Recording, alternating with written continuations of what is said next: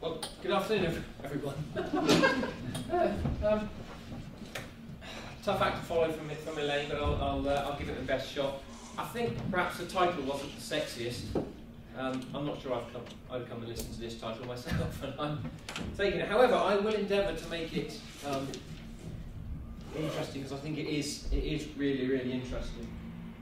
Um, the aims are to look at how well I'll let you read them because Anna came up to me and said, I hope you don't put slides up and then read them out, so I could do that myself. So therefore, I will not read that out. Um, suffice to say, I just want to share with you what's worked for us, the challenges we faced, and, and also what, what didn't work. Because some of the stuff we've done, surprisingly, hasn't actually worked.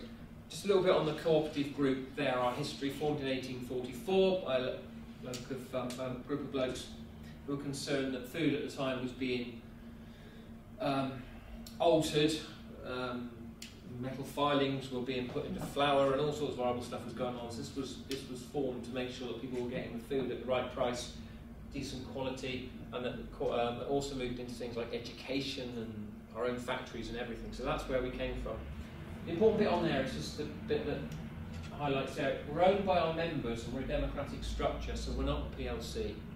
Okay, we're a funny, funny sort of thing. Anybody that shops with us and buys, uh, spends a pound, invests a pound, becomes a member. So we are run by our members, which helps steer what we do. So we aren't wholly driven by the financial um, motive. It's an important one because if we don't make any money, we can't reinvest any money, but it's not our driving force. There's our businesses, uh, funeral care, pharmacy, farms, electrical, banking group. We're in the throes of hopefully buying 700 banks uh, off of Lloyd travel estates, and the one that you're probably most familiar with, the one I do most of my work with is, is food. There's two and a half thousand shops across every postcode in the UK. Just want to go back in time. These are very grainy images. I, am sorry I downloaded them on BlackBerry last night. Uh, 2006, 7, Al Gore, um, fresh from not winning the uh, presidential election. Um, launched his Inconvenient Truth. It was one of the big, big films of 2006-7. Um, had Hurricane Katrina. Energy costs were spiraling. It was the big thing. Everybody was into the environment and, and doing, doing what they could.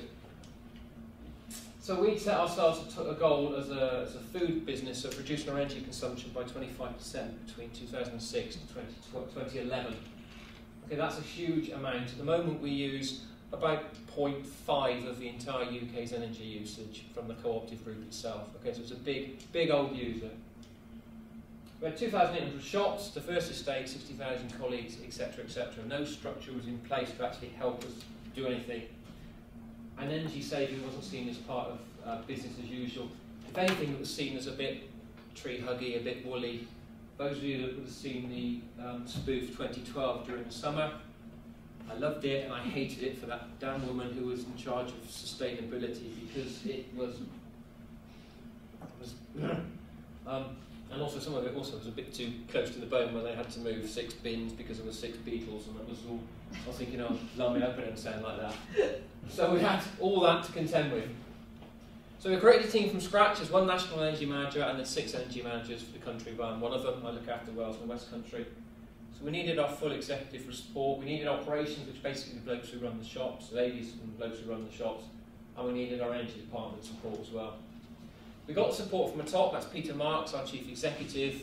Um, did you interview him? No, no, you didn't get to him. No, you wouldn't, have, you wouldn't have got to him. Um, he's basically saying that businesses have to do things differently. We can't just be driven by the um, financial savings. We have a bigger responsibility. Um, so thought, thank you very much, Peter, that's very, very helpful. And also from our members, which we talked about earlier, we've come up with our ethical operating plan. It isn't as sexy as M&S's Plan A, I know, but they got there first. We could hardly call ours Plan B, because that sounds terrible. um, so it's ethical operating policy, which is pants as a title, but never mind. Our, yeah. Supporting cooperatives across the, the, the, entire globe. This is the International Year for Cooperatives. There are um, a billion people who are members of cooperatives around the world. Tackling global poverty, responsible retailing, responsible finance, which is even more important nowadays, and actually it was when that plan was drawn up. Inspiring young people, keeping communities thriving, the bit that really is, is what I'm about, is, is protecting the environment. So that drives what we do. Of course, we've got to make a profit. We have to make a profit in order to invest in our stores and for it to be in the future, but that is underpinning what we do. Uh, let's go on to that next one. These are our goals, and the biggest ones, I think, we're making energy tangible, making it real to the people in the stores, working on engagement with our colleagues in the stores, and build long-term plans and establish clear policies and procedures so that it becomes business as usual. People do it without thinking, so they don't have to be thinking, what shall I do which is sustainable? It's already there in, in what, everything they do. A three-pronged attack. Refit programs, which is where we um, we get a store every five years, we upgrade it, we put new stuff in, that's a refit. Retrofits or anything that isn't going to be refitted, but it's stuff we do to save energy. And good housekeeping is all about behavioural change. The beauty of it is it's free, or relatively free, compared with refits and retrofits, which cost a lot of money. So us being us, we went for the cheap option first. Um, let's try and change what people's behaviours are. So we, we had to try and find out what behaviours should be promoted, who we're looking at, who are we targeting, and, uh, and what conditions individuals they face in the stores. I've worked in a store, it's my origin, I started off as a store manager many, many moons ago. It isn't easy, it's a tough old environment. Um, there isn't a lot of slack, there aren't people around scratching their heads about what to do. So we have to be, anything we did had to be relevant to them. It's no good telling them to do something if they simply haven't got the people in store to do it. So, using our collective knowledge, because we were all, most of us were ex-retailers, we designed this picture, which just is energy housekeeping in store. And I've just put up a handful of icons, just so you can see. Oh, Get back. Thank you. Um, energy blinds, the night blinds, which we were talking about earlier. Uh, if you put a night blind down on a fridge in a shop, it saves you 100 quid a year per bay. Okay, so if you've got 30 bays of fridges in your store, it costs you, you three grand a year. It costs £100 to install, £100 divided by £100 is one year payback. So we can invest the money, but unless someone pulls it down, it's a waste of time. So that's a housekeeping thing. Air conditioning units, 21 degrees is what they're sat at. They're designed to run at 21s, but whenever it happens, when it gets freezing cold, people turn them up to 28, and when it's very hot, they turn them down to 16. AC units don't do that. They only operate between 21 to 23 degrees. So it's all in the mind. So getting people stop turning your blinking fridge, these things up. Another one, your booze chillers, we had them running at the same temperature as you would for your pies and your meat. You don't need to because you're not going to kill anyone if your wine's at 8 degrees as opposed to 1 degree. Okay, so we turned them down, saved loads of money. So we weren't actually spending much money on these sort of things. And cardboard and plastic, if you separate it at source, we can earn £10 million a year simply from doing that. So that was a housekeeping thing, and we, were, we wanted to get that across to the people in stores. But it isn't simple, it's not as simple as sending out a, a, a poster or a newsletter or whatever. People, for some reason, don't always do what we might think is obvious. Partly because they don't know about it or what the benefits are, partly because they think there's insurmountable things. I can't do that because it's too hard to whatever, and simply sometimes because they know all the benefits and they can't be arsed, if I'm honest. They can't be bothered to separate the carbon and plastic because it's easier just to dump it into the skip and wave goodbye to a landfill. It's not being recorded, is it? oh, yes. um, these are the things which I, I can't claim that they're original. Um, in fact, I gleaned them from this book, Fostering Sustainable Behaviour. Um, that one's probably most important. People gravitate to actions that benefit them the most and inconvenience the least. Okay, box standard. I'm sure you're. I'm not a. I'm not a psychologist. I'm a grocer turned whatever I am now, which is a curious hybrid of engineer, psychologist, grocer, and all sorts of things. People's benefits vary between individuals, and different behaviours compete with different behaviours. So, someone who walks to work, oh, sorry, whose best benefit will be to walk to work, because it's very, very green, might prefer catching a taxi, or but then you might prefer catching the bus. There's all sorts of different things. It makes I didn't explain that very well, but it, it's kind of it's, it's not very clear. So you can either increase the benefits decrease the barriers, decrease the benefits of the competing behaviours, or increase the barriers of the competing behaviours. Um, we chose to, to try and decrease the barriers. Okay, well, traditional way of changing people's behaviours, you regulate, so we can say you will pull your fridge blinds down. Unfortunately, with 3,000 shops, I can't be everywhere and I can't go around every night and check the blinds down and put them up again.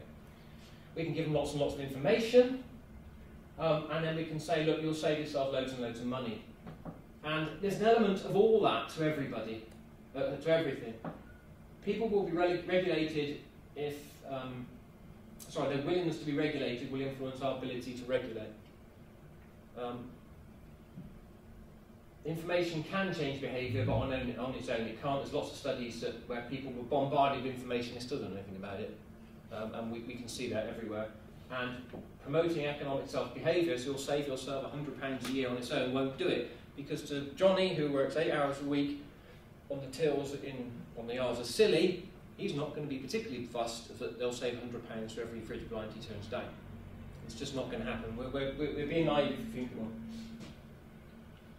what social psychology has said is initiatives to promote behaviour change are most effective when it's carried out at community level and it involves direct contact with people. And that's quite tricky when there's only one of me for 600 shops and there's only six of us for 2,800. But more on that a little bit later.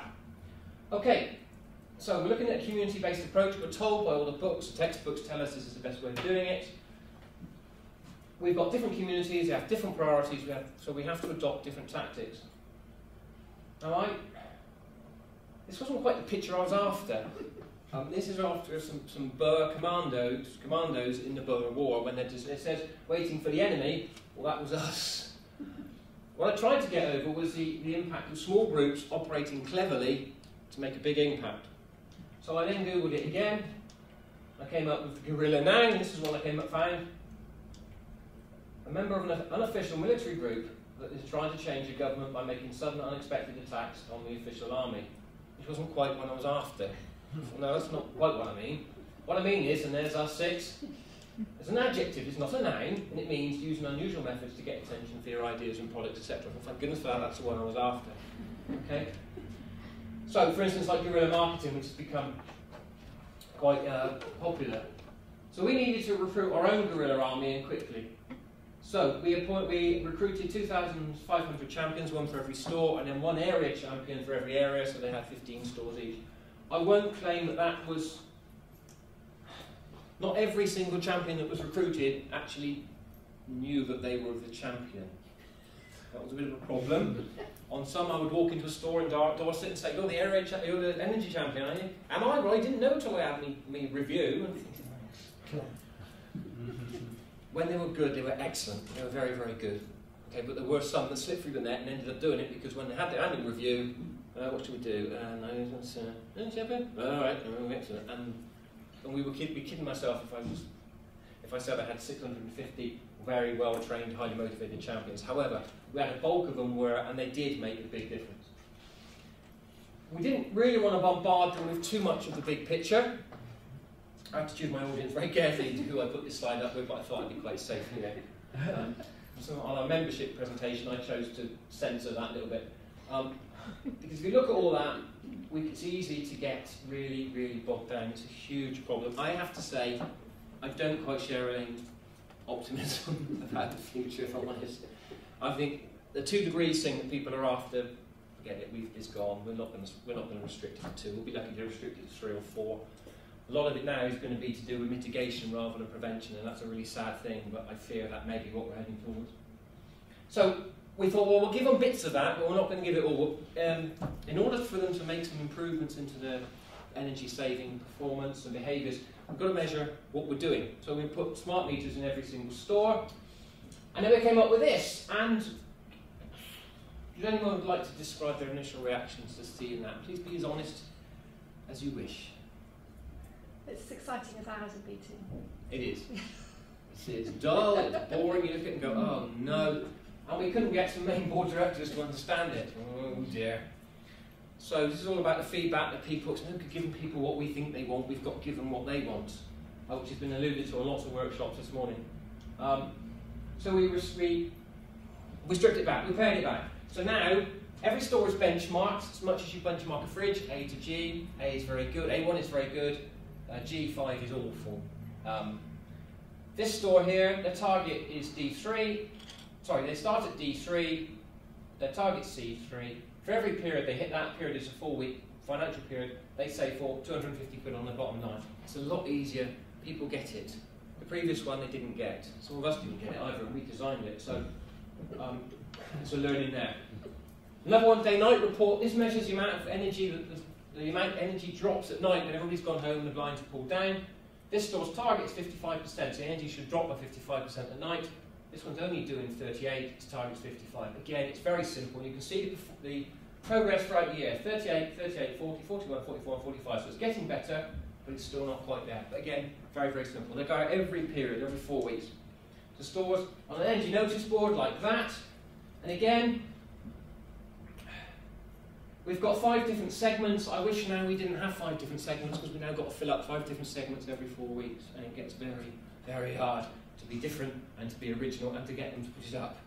But we're persevering with it because we know if we let that go, we won't get it back in again.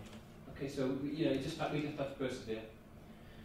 For the, the meat eating um, retailers that we have, we do measure the consumption on a, on a competitive basis. This is the, the managers for the South Western Wales, Dave Evans, who's North Wales.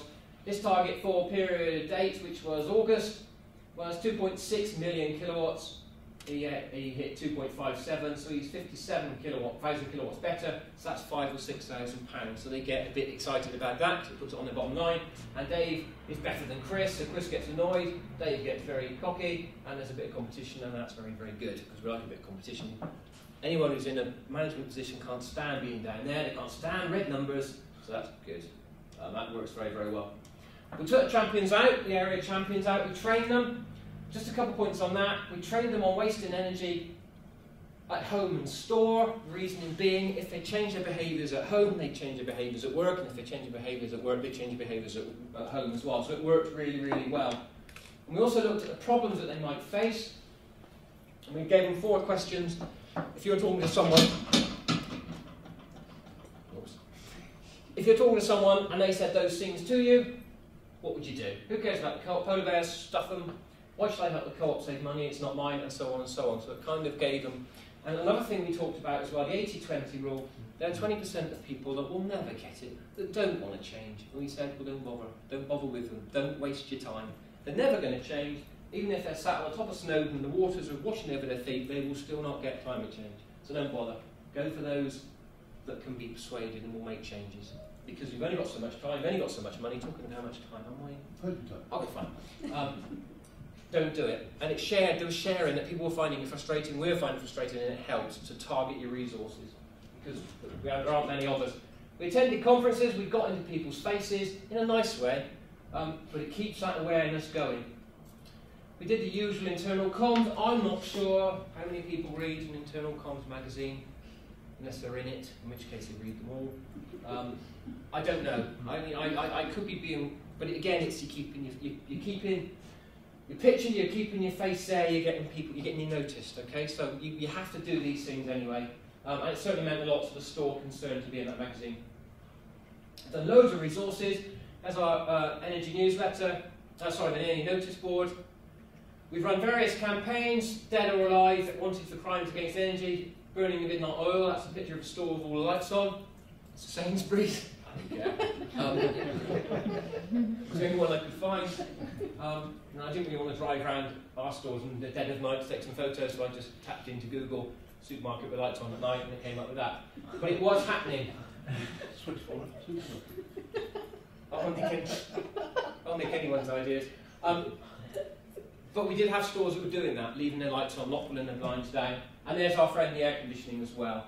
Uh, we've got the internet as well, that's up and running. The only thing with internet, if you're going to do them, they've got to be up to date, because it's dead embarrassing when you go on and say, New I turned 2011 campaign is. You oh, great. The minute you see that, you just say, well, if you can't be bothered to do it properly, I can't be bothered to read it. So it's they're very good, but boy, you've got to have, and, and don't underestimate how many how much resource actually has to go in there to keep them going, because they are blooming hard work.